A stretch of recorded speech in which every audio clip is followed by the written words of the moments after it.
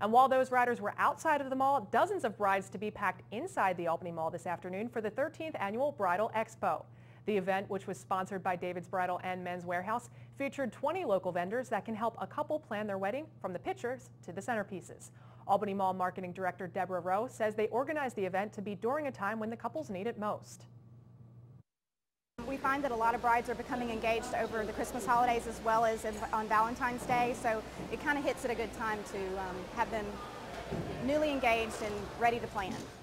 At the end of the expo, one lucky bride won a dream wedding package that included tuxedo rentals, a gift certificate, and a deluxe wedding announcement package in the Albany Herald.